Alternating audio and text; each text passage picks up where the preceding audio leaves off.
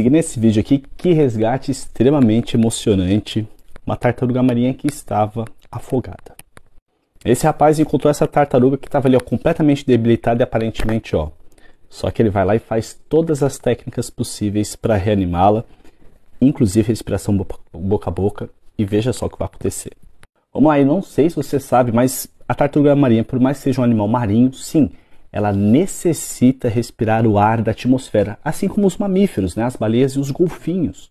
Por isso elas precisam ir até a superfície, respira e depois mergulha de novo. E aí o porquê ela se afogou? Pode ser por muito cansaço, pode ser por alguma doença, mas normalmente é com emale. Ou seja, quando o animal ele fica preso a redes de pesca e aí ele não consegue ir até a superfície, infelizmente acontece o pior. Mas não com essa tartaruga aqui, ó. Por quê? Porque esse cara conseguiu resgatá-la. Palmas para ele.